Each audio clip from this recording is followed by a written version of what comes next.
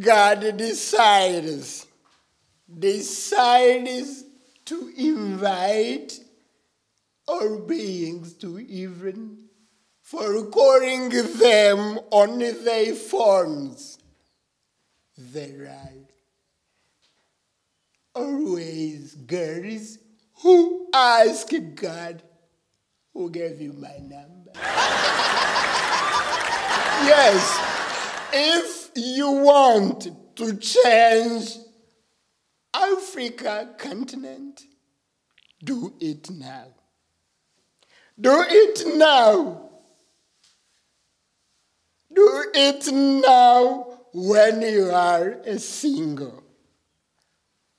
Because when you are married, you can't change. Can't even change the channels on TV. no, no African girl will choose six packs over six cars. So stop going to the gym and go to work.